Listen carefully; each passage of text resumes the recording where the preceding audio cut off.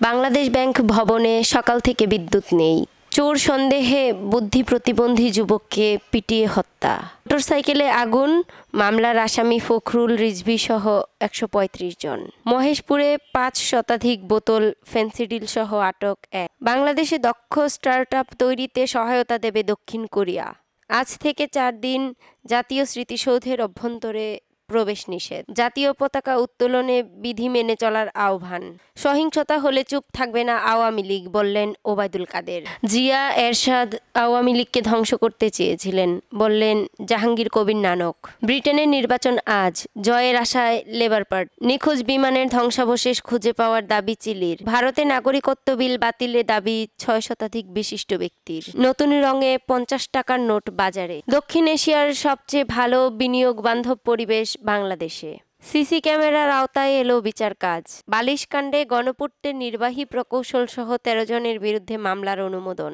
Bangladesh bank ভবনে সকাল থেকে বিদ্যুৎ নেই। রাজধানীর মতিঝিলে বাংলাদেশ ব্যাংকের ত্রিশতলা মূল ভবনে সকাল থেকেই বিদ্যুৎ নেই। বিদ্যুতের কারণে লিফট বন্ধ থাকায় কর্মকর্তারা ভবনে উঠতে না পেরে নিচে দাঁড়িয়ে আছেন। আবার কেউ কেউ সিঁড়ি দিয়ে উপরে উঠলেও বিদ্যুতের অভাবে কাজ করতে পারছেন না। এ বিষয়ে বাংলাদেশ ব্যাংকের সহকারী মুখপাত্র আবুল কালাম আজাদ বলেন, কোথায় সমস্যা হয়েছে সেটা খুঁজে বের করার চেষ্টা চলছে। শিগগিরই ঠিক হয়ে যাবে। চোর সন্দেহে বুদ্ধি প্রতিবন্ধী যুবককে পিটিয়ে হত্যা। মানিকগঞ্জ সদর উপজেলায় বৃহস্পতিবার ভোরে চোর সন্দেহে এক বুদ্ধি প্রতিবন্ধী যুবককে পিটিয়ে হত্যা করা হয়েছে বলে অভিযোগ পাওয়া গেছে। নিহত যুবক মানিকগঞ্জ সদর উপজেলার মানরা এলাকার মৃত শহীদ মিয়ার ছেলে। হত্যা ঘটনার সঙ্গে জড়িত সন্দেহে চারজনকে জিজ্ঞাসাবাদের জন্য আটক করেছে পুলিশ। মোটরসাইকেলে আগুন, মামলার আসামি ফখরুল রিজভি সহ একশো পঁয়ত্রিশ জন।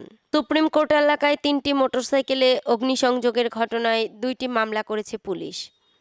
গত বুধবার রাতে শাহবাগ থানা দুটিতে বিএনপি মহাসচিব মির্জা ফখরুল ইসলাম আলমগীর ও সিনিয়র যুগ্ম মহাসচিব রুহুল কবির রিজভি সহ মোট একশো পঁয়ত্রিশ জনকে আসামি করা হয়েছে।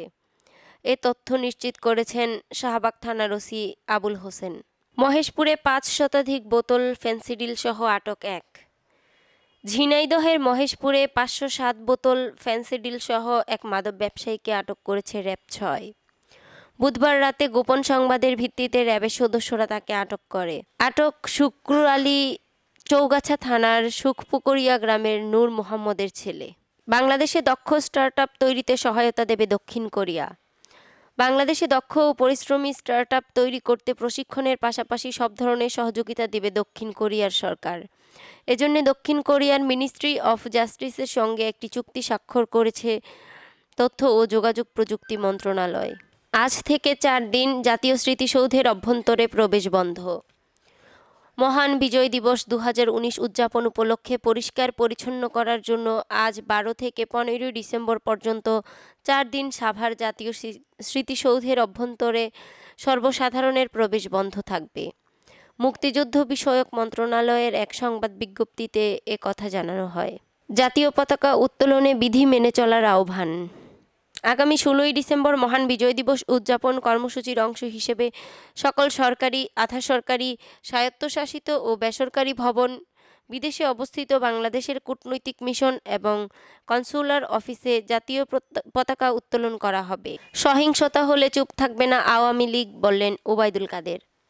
আওয়ামী লীগ সাধারণ সম্পাদক এবং সড়ক পরিবহন ও সেতুমন্ত্রী ওবায়দুল কাদের এমপি বলেছেন বিএনপি আন্দোলনের নামে সহিংসতা চালালে জনগণের জানমাল রক্ষার জন্য আইন প্রয়োগকারী সংস্থা সমুচিত জবাব জবাব দেবে। দলীয় নেতাকর্মীদের উদ্দেশ্যে তিনি বলেন, আপনারা সতর্ক থাকবেন যাতে বিএনপির রায়কে কেন্দ্র করে কোনো ধরনের নৈরাজ্য সৃষ্টি করতে না পারে। নিজে থেকে কিছু করবেন না, তবে আক্রান্ত হলে চুপ থাকবেন না। জিয়া এরশাদ আওয়ামী লীগকে ধ্বংস করতে চেয়েছিলেন, বললেন, জাহাঙ্গীর কবির নানক। জিয়াউর রহমান, এরশাদ ও খালেদা জিয়া আওয়ামী লীগকে ধ্বংস করতে চেয়েছিলেন, কিন্তু পারেননি। এই বলে মন্তব্য করেছেন আওয়ামী লীগের যুগ্ম সাধারণ সম্পাদক জাহাঙ্গীর কবির নানক। তিনি বলেন, তাদের দোসররা আজ ঝকঝকা পোশাক পরে আওয়ামী লীগে অনুপ্রবেশ করেছে। এসব অনুপ্রবেশকারীদের ঝেঁটিয়ে বার করে দিন। বুধবার এগারোই ডিসেম্বর দুপুরে লালমনিরহাট জেলা আওয়ামী লীগের ত্রিবার্ষিক সম্মেলনে প্রধান অতিথির বক্তব্যে তিনি কথা বলেন। ব্রিটেনে নির্বাচন আজ জয়ের আশায় লেবার পার্টি। ব্রিটেনে বহুল আকাঙ্ক্ষিত নির্বাচন আজ। আজকের নির্বাচনের মাধ্যমেই জানা যাবে দেশটির ভবিষ্যৎ। কেবল ইউরোপীয় ইউনিয়নে থাকা না থাকাই এর মাধ্যমে নির্ধারিত হবে না। দেশটির অর্থনৈতিক অগ্রগতির ভালো মন্দও জানা যাবে আজকের নির্বাচনের ফলাফলে। দেশটিতে ইউরোপীয় ইউনিয়নে থাকা, না থাকা নিয়ে নানা মত রয়েছে। নিখোঁজ বিমানের ধ্বংসাবশেষ খুঁজে পাওয়ার দাবি চিলির। চিলির নিখোঁজ হওয়া বিমানের ধ্বংসাবশেষ খুঁজে পাওয়া গেছে বলে দাবি করেছেন চিলি কর্তৃপক্ষ। বুধবার নিখোঁজ হওয়া স্থান থেকে ত্রিশ কিলোমিটার দূরে ড্রেক প্যাসেজ নামের একটি জলাধারে ওই বিমানের ধ্বংসাবশেষ ভাসতে দেখা যায়। খবর বিবিসির। ভারতে নাগরিকত্ব বিল বাতিলের দাবি ছয় শতাধিক বিশিষ্ট ব্যক্তির। ভারতের নাগরিকত্ব সংশোধনী বিল প্রত্যাহার করতে ক্ষমতাসীন বিজেপি সরকারের প্রতি আহ্বান জানিয়েছেন দেশটির লেখক, সাংবাদিক, চলচ্চিত্রকার, মানবাধিকার কর্মী সহ ছয় শতাধিক বিশিষ্ট ব্যক্তি। বিতর্কিত ওই বিলে মুসলিম সংখ্যাগরিষ্ঠ বাংলাদেশ, আফগানিস্তান ও পাকিস্তান থেকে নিপীড়নের মুখে ভারতে পালিয়ে যাওয়া হিন্দু, বৌদ্ধ, শিখ, জৈন ও পার্সি ও খ্রিস্টানদের নাগরিকত্ব দেওয়ার কথা বলা হয়েছে।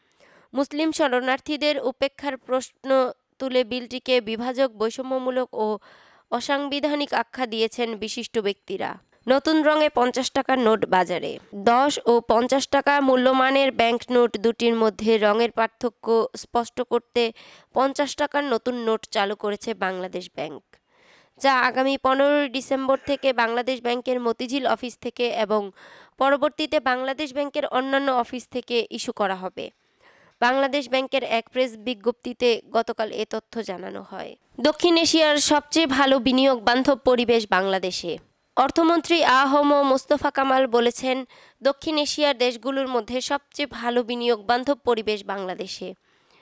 অ্যাসক্যাপের নির্বাহী সচিব আরমিন্দা সালসিয়াহ বলেন, বাংলাদেশে সাম্প্রতিক অর্থনৈতিক উন্নয়ন লক্ষণীয়। অর্থনৈতিক গতিশীলতার কারণে বাংলাদেশ স্বল্পোন্নত দেশ থেকে উন্নয়নশীল দেশে উত্তরণের মাপকাঠি অর্জনে সক্ষম হয়েছে। বাংলাদেশ কর্তৃপক্ষের সঙ্গে কাজের ক্ষেত্রে প্রতিটি পদক্ষেপে এলডিসি থেকে বাংলাদেশের উত্তরণের সহায়তার অংশ হিসেবে প্রয়োজনীয় গতির জন্য উন্নয়ন এজেন্ডা অর্থায়নের এবং সুযোগ নিতে এবং এশিয়া ও প্রশান্ত মহাসাগরীয় অঞ্চলে টেকসই উন্নয়ন নিশ্চিত করতে প্রতিশ্রুতিবদ্ধ। সিসি ক্যামেরার আওতায় এলো বিচার কাজ। দেশের ইতিহাসে প্রথমবারের মতো ক্লোজ সার্কিট ক্যামেরার বসানোর এজলাসে শুরু হলো বিচার কাজ। জিয়া চ্যারিটেবল ট্রাস্ট মামলায় খালেদা জিয়ার জামিন শুনানির জন্য প্রধান বিচারপতি সৈয়দ মাহমুদ হোসেনের নেতৃত্বাধীন আপিল বিভাগের ছয় বিচারপতির এজলাসে আসন গ্রহণের মধ্য দিয়ে শুরু হয় বিচার কাজ। বালিশকাণ্ডে গণপূর্তের নির্বাহী প্রকৌশলী সহ তেরো জনের বিরুদ্ধে মামলার অনুমোদন। পাবনার রংপুর পারমাণবিক বিদ্যুৎ প্রকল্পের বালিশ ও আসবাবপত্র কেনাকাটায় দুর্নীতির অভিযোগে গণপূর্ত বিভাগের নির্বাহী প্রকৌশলী মাসুদুল আলম সহ তেরো জনের বিরুদ্ধে মামলা অনুমোদন দিয়েছে দুদক। আজ বৃহস্পতিবার দুদকের জনসংযোগ কর্মকর্তা প্রণব ভট্টাচার্য এ খবর নিশ্চিত করেছেন।